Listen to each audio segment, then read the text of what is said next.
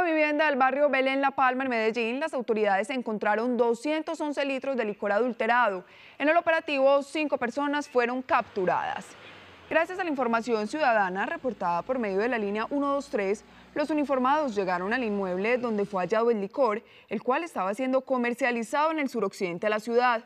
En la vivienda fue sorprendida una mujer de 73 años y cuatro hombres de 48, 49, 61 y 74 años de edad, quienes quedaron a disposición de la Fiscalía.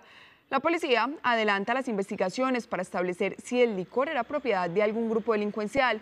El contenido de las botellas fue evaluado en 7 millones de pesos.